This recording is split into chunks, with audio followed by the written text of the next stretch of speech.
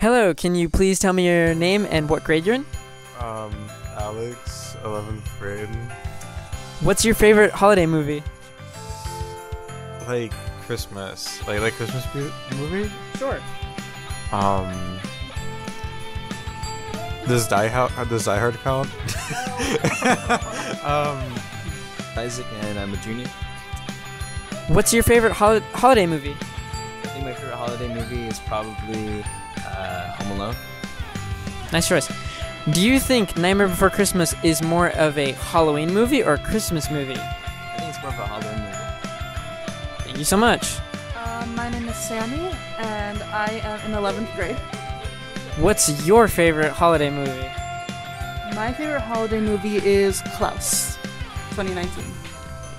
Do you think Nightmare Before Christmas is more of a Halloween movie or Christmas movie?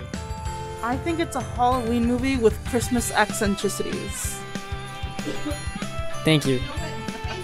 Uh, my name's America and I'm in 11th grade. Do you think Nightmare Before Christmas is more of a Halloween movie or Christmas movie?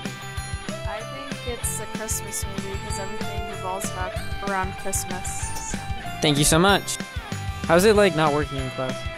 That's like, I won't put that in the video.